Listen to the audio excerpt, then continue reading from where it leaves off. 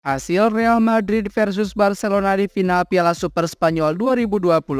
Los Blancos julukan Real Madrid sukses menyabet gelar juara Piala Super Spanyol 2024 usai menang telak 4-1. Duel Real Madrid versus Barcelona digelar di Al Awal Park at King Saud University Riyadh, Arab Saudi, Senin 15 Januari 2024 dini hari waktu Indonesia Barat. Vinicius Junior tampil paling gacor dalam laga ini karena sukses mencetak hat-trick alias 3 gol. Real Madrid memulai laga dengan begitu apik, pertandingan baru berjalan 7 menit mereka sudah berhasil menjebol gawang Barcelona. Gol perdana Madrid dicetak oleh Vinicius Junior, pergerakan cepat Vinicius usai mendapat umpan dari Jude Bellingham gagal dihentikan oleh kiper Barcelona Inaki Pena. Vinicius pun dengan nyaman mencetak gol Madrid unggul 1-0.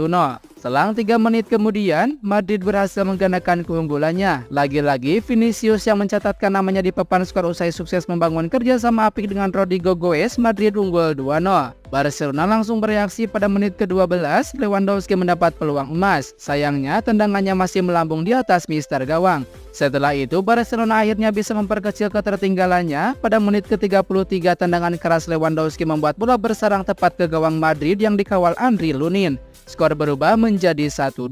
Jelang akhir laga, petaka datang ke kubu Barcelona. Madrid mendapat hadiah penalti karena Vinicius dijatuhkan Ronaldo Araujo di kotak penalti. Vinicius yang maju sebagai Algojo pun sukses menjalankan perannya dengan baik. Madrid unggul 3-1, skor ini tak berubah hingga akhir babak pertama. Di babak kedua, duel berjalan semakin sengit, Barcelona yang berusaha mengejar ketertinggalannya terus menemukan kebuntuan.